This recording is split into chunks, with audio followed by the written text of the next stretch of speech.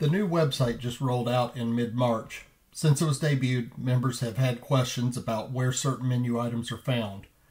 Today, I'm going to discuss the members menu. Let's get started. Begin by navigating to sar.org.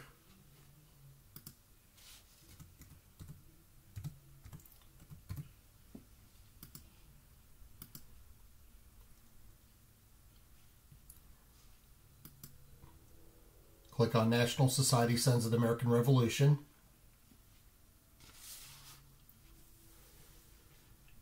You'll notice a mustard colored login menu up in the top right hand corner. Go ahead and click that. You're going to be redirected. Here you can either put in your email or your national number.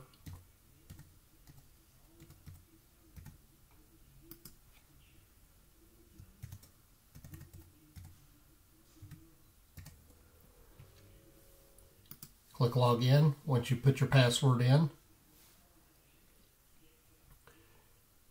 And you'll notice now my name appears up in the top right hand corner and the button says log out over here in the right hand corner as well.